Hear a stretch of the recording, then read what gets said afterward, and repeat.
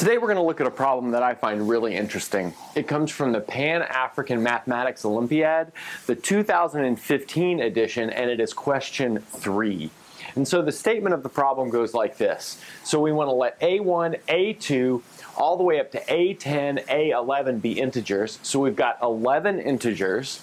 And then we want to prove that there exists B1, B2, all the way up to B10, B11 in the set negative 1, 0, 1, but they're not all 0, such that A1, B1 plus A2, B2 all the way up to A11 times B11 is divisible by 2015. Okay, so I'm going to give you guys some hints. Maybe you can try this problem a little bit and then we'll look at a solution.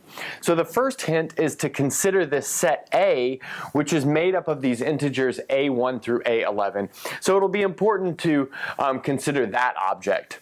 Next, we know that we can find a power of 2 which is bigger than 2015. And think about what power of 2 that is. And then finally, we're going to use the language of modular congruence. And in particular, we want to recall that A is said to be congruent to B mod n if and only if B minus A is divisible by n, or B and A have the same remainder when divided by n. And there are n such remainders when dividing by n. There's 0, 1, 2, all the way up to n minus 1. Okay, so uh, give it a go with these hints and then we'll come back and look at a solution. Now we're ready for our solution. And I want to point out that we are only going to consider the case when all of the AI are distinct. So obviously when writing up a very careful solution, you would also need to consider the case when the AI are not distinct. Maybe you guys post that solution in the comments. It's super quick. All right, great. So we're only going to consider that case. And then the next thing that we want to do is set A equal to this set A1, A2, all the way up to A10 and A11. And now what we want to notice is that because we have only considered the case when the AI are distinct, we know exactly how many elements are in A, and that is 11 elements. Next, we'll introduce a little bit more notation. So for a subset S of A, we want to denote the sum S, so we'll just put sigma S like this. So that's going to be the sum over all x in S of x. So in other words, it's the element sum of the subset of S. So maybe let's do a little bit of an example first, just to know that we know what this is. So let's say that S equals A1 a2, A5, and A9. So that is a four element subset. Then, in this case, the sum of S, in other words, the element sum of S will be equal to A1 plus A2 plus A5 plus A9. So pretty simple. And then using this notation, we can actually rewrite this condition star in another form, and that's like this. So observation star is, is equivalent to uh, the existence of subsets S and T from A, and we should point out here that S is not equal to T, such that the sum of the elements of the subset in S is congruent to the sum of the elements in the subset of T modulo 2015. Okay, good. So now let's go ahead and see a proof of this observation because this is actually how we're going to approach this problem is by proving that this observation is satisfied. Great. And now we actually don't need to prove that this is equivalent to this existence of these two subsets. We only need to prove that the existence of these two subsets um, implies condition star in our case. So let's go ahead and do that. So let's suppose that S and T are subsets of A with S not equal to T and the sum of the elements in S is congruent to the sum of the elements in T mod 2015. Okay, good. Then we have the following. Then we have the sum of the elements in S um, minus the sum of the elements in T is divisible by 2015 because that's the definition of congruence mod 2015. But now notice that gives us the following setup. So I'm just going to maybe do this as a picture. So this is 1 times the sum of elements in S not in T. So it's important that we see that it's not in T there. And then plus negative 1 times the sum of elements in T not in S. Great. And then finally, plus 0 times the sum of elements um, in the intersection S intersect T and in neither. And so this kind of picture that we have is exactly kind of a description of this sum of the elements in S minus the sum of the elements in T. We've just added 0 times all of the rest of the elements. And then we see that this is divisible by 2015.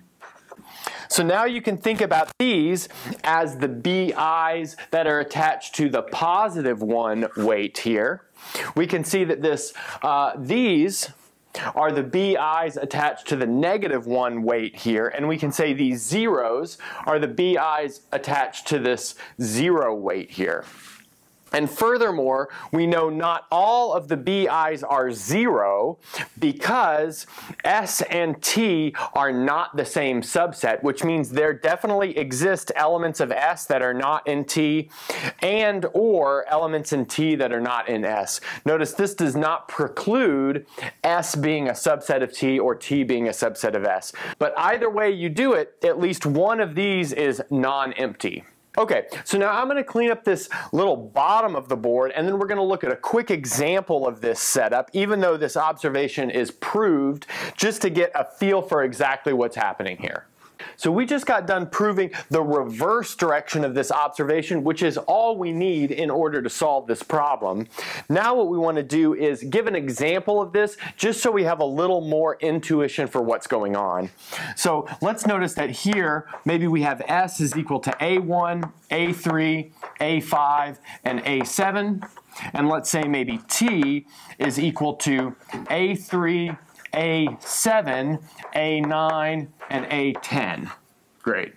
And let's say these are the two subsets that have the condition that the sum of the elements in S is congruent to the sum of the elements in T modulo 2015.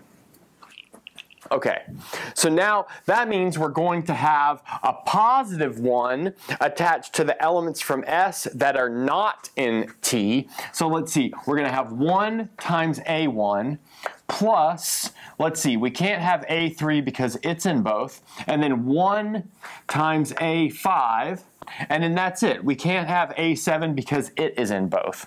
Okay, and then plus the elements in T um, that are not in S, that those are going to be attached to a minus 1. So we'll have minus 1 times A9 plus minus 1 times A10.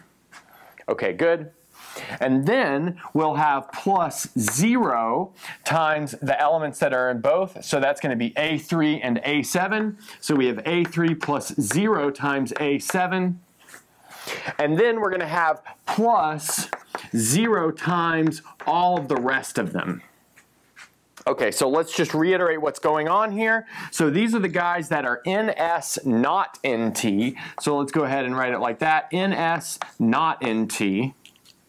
These are the guys right here that are in T, not in S. Fantastic. And then these are in S intersect T, so they're in both. And then finally, these are in neither.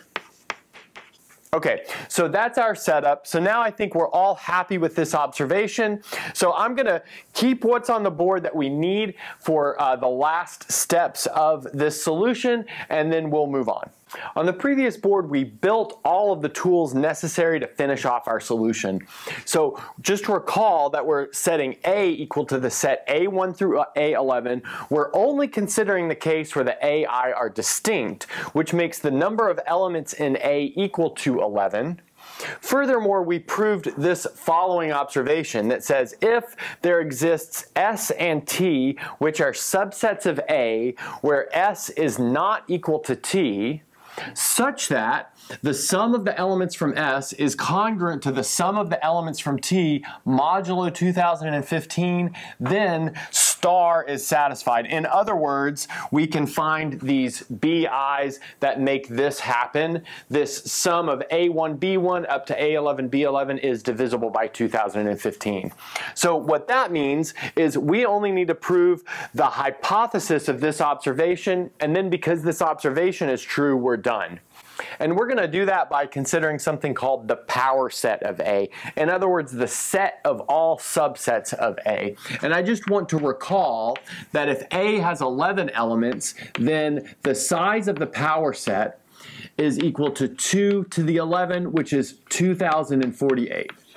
So in general, if you have a finite set with n elements, the number of subsets of that set, in other words, the size of the power set is equal to 2 to the n. So that's kind of a fact that you should keep in mind for all of these types of problems.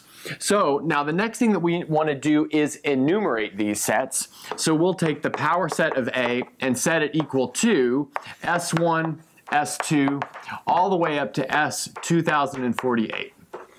Now, one of those is an empty set, but that's going to be okay. Now, what we want to do is consider the set of sums of elements of these subsets, and we'll call that x. So we'll set x equal to the set of these sums. So here we have the sum S1, the sum of the elements in S2, all the way up to the sum of the elements in S2048.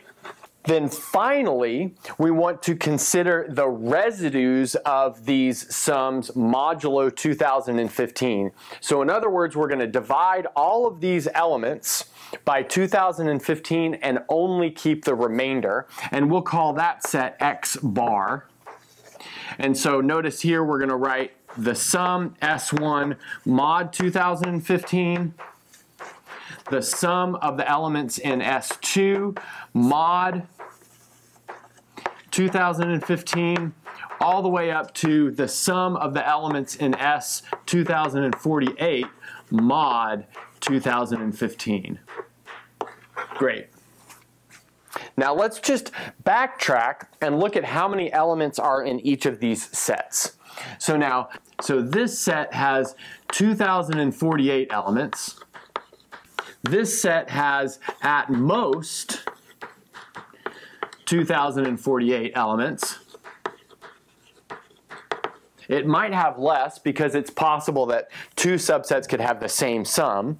And then this set right here, because we're looking at the residues modulo 2015, this has at most 2015 elements. Great.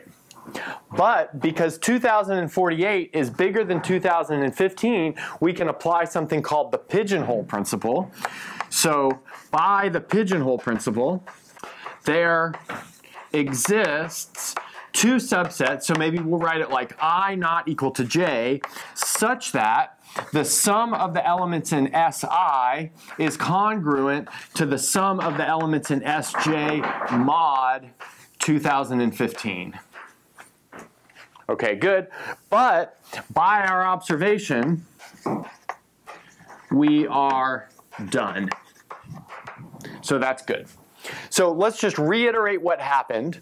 So we have a list of 2048 sets but then there are only 2015 residues modulo 2015. So what that means is that the sum of the elements from two of those sets must have the same residue when we reduce modulo 2015. In other words, we have sum Si is congruent to sum Sj mod 2015 for some i not equal to j. But then by the observation that we proved earlier, that tells us that this condition is satisfied. And that's a good place to stop.